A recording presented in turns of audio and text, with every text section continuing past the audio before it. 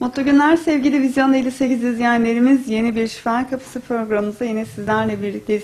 Bu hafta Şifa Kapısı programımızda çocuklarımızı konuşacağız ve hastanemizin çok önemli doktorlarından ve çocuklarımızın da birebir onu o kadar seviyorlar ki ki bizler buna çok şahidiz ve kendisi de çok önemli bir isim. Çocuk hastalıkları ve sağlığı uzmanımız uzman doktor Ersin Sarı bizlerle birlikte olacaklar. Hocamla e, sağlam çocuk takibini konuşacağız. Sağlam çocuk takibi ve aşılarını konuşacağız. Öncelikle Ersin hocamıza soralım. Sağlam çocuk takibi nedir? Çocuklar doğdukları andan itibaren e, bir doktor tarafından kontrol edilirler. Ve bu kontrol süresi içerisinde çocukta bir problem var mı yok mu anlaşılır. Ve bu takipler belli aralıklarla 2 yaşına kadar devam edilir.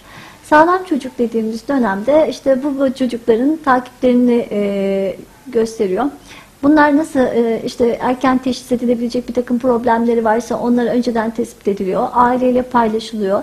Yoluna gitmeyen bir şeyler varsa onlar aile bilgilendirilip erken bir takım tetkikler ve tedaviler planlanabiliyor. E, bu izlemede biz sağlam çocuk izlemi e, diye söylüyoruz. Bebekler doğar doğmaz ilk bizimle karşılaşıyorlar. İlk muayenelerini biz yapıyoruz. Doğduktan sonra bir 24 saat içerisinde 48 saat içinde tekrar bir muayeneleri oluyor. Hastanede doğan bebekler taburcu olmadan önce bir kez daha bir sarılık var mıdır, kilo kaybı var mıdır, bebeğin beslenmesi nasıldır, e, ciltte bir takım bulguları var mıdır? Bunların hepsini tespit edilip aileyle birebir paylaşılıyoruz. Ailenin sormak istedikleri çünkü onlar bazıları ilk defa anne baba oluyorlar. E, bebeğe bazen dokunmaktan bile korkabiliyorlar. Onların e, bir takım soruları oluyor. Onları da beraber oturup konuşuyoruz, paylaşıyoruz. Sorularına cevap vermeye çalışıyoruz. E, bebekler doğduktan sonra dördüncü gününden itibaren ilk bir hafta içerisinde tekrar görmek istiyoruz. İkinci bir kontrolleri yapılıyor. Evde birebir baş başa kaldıklarında nasıl izlemişler bebekleri, nasıl besleyebilmişler mi? Öncelikle her zaman söylediğimiz gibi anne sütüyle besleyebilmişler mi? Bebekte kilo kaybı, sarılık ya da başka bir bulgu var mı yok mu onları tespit ediyoruz.